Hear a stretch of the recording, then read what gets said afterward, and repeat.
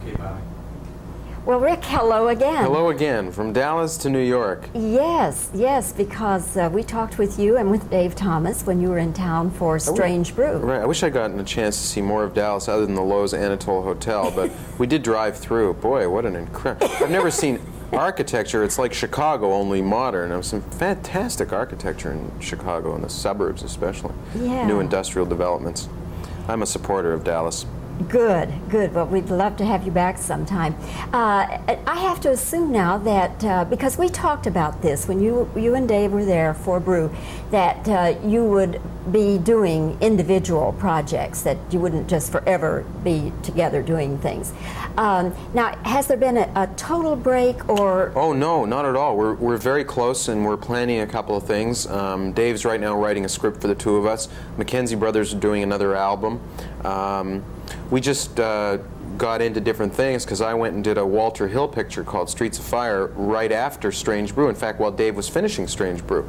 And um, then right after that, I got this, and Dave came to New York to do a television series. So um, we just both felt that it would be better for us if we did more than just things together. Well, might you be doing another McKenzie Brothers movie? I don't know. Um, I'd like to. Um, I don't know when we'll, we'll have time or, or what will happen. It's so hard to say because things come up that you don't anticipate. Not only are we are we trying to plan our careers, but things outside that you have no effect on come up. Like somebody all of a sudden calls and wants you to play a part in a movie, and you want to do it because it's a great director, a great script, or something. So um, I, I don't know. I'd like to do another one though. You're, of course, in Ghostbuster. That's the Ghostbusters. That's what we're here to talk about. And uh, obviously, you all must have had just one whale of a time making it. Oh, sure. Um, you can't you can't be with Bill Murray, Dan Aykroyd, and Harold Ramis and not have fun. I mean, you know, they're really funny, funny men.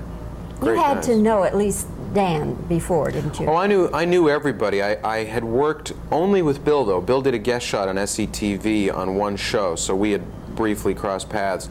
And uh, Dan, actually, I'd worked on a script with Dan um, peripherally. Dave Thomas and Dan are old friends, and they were working on a script for the three of us to do. So I was involved in some meetings on that. And Harold, I replaced on Second City and had run into him at parties and at meetings here and there, but we had never worked together. And Ivan and I kept meeting on Air Canada and on flights between Los Angeles and Toronto, and we sort of said, yeah, someday we'll have to do something. So when he called me to do this, I just, you know, of course I had to say yes. Rick, are you afraid because of this role, uh, you're uh, I'm going to say classic nerd. Do you object?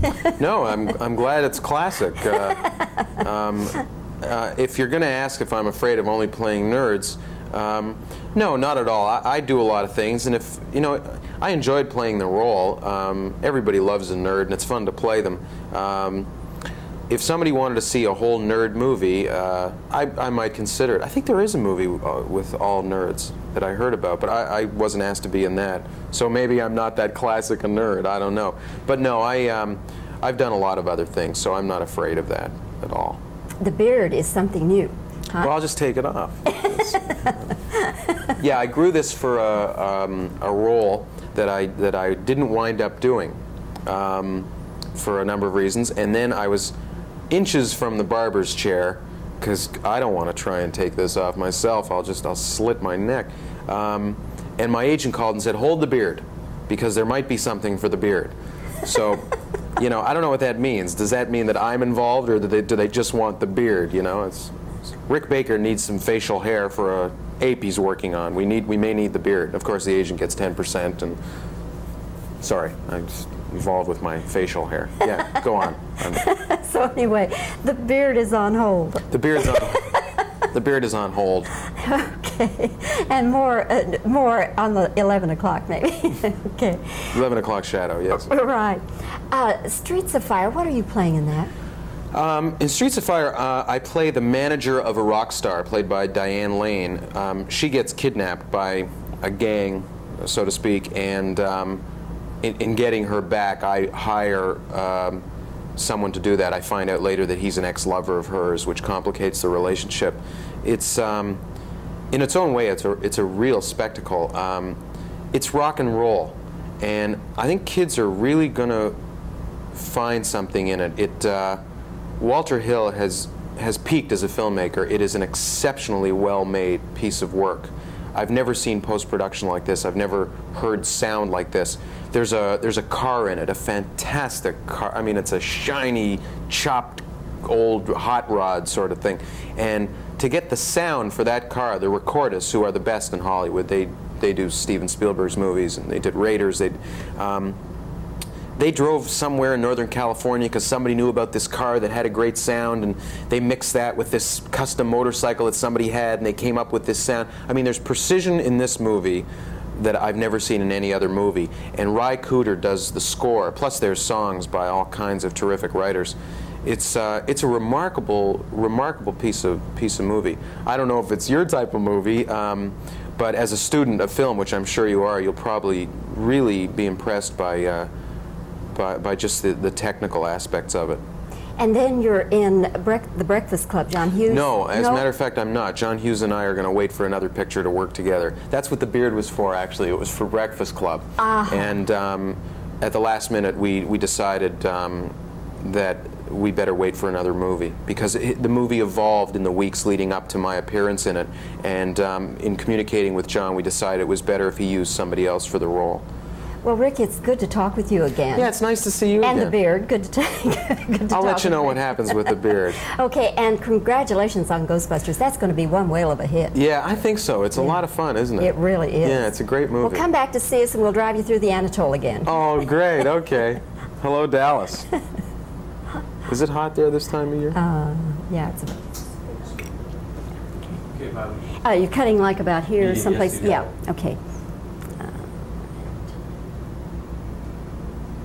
Might you do another movie, a sequel to Strange Brew?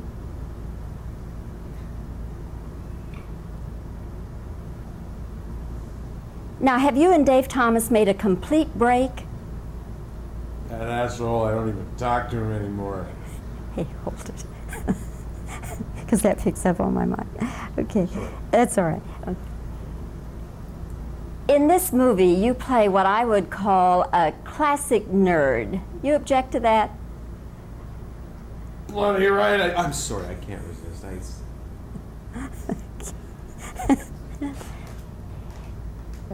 Being Canadian, I have to assume that maybe you knew Aykroyd, huh?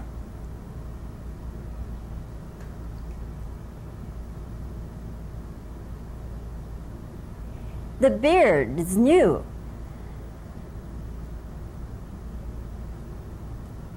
The beard is the new look.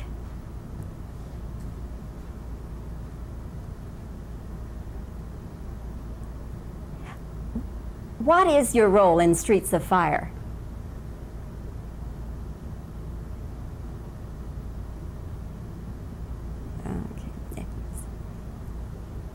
And then I understand you're doing the Breakfast Club with John Hughes.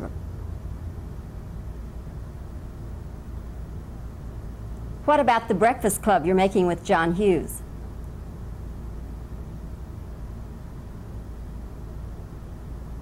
Okay, now let me just give you some reactions.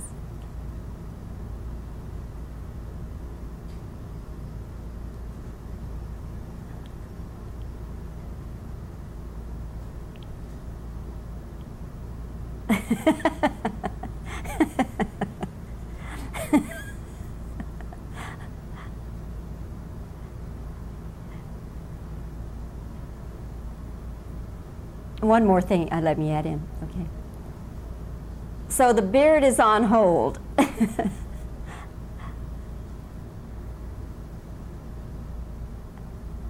okay, that should do it.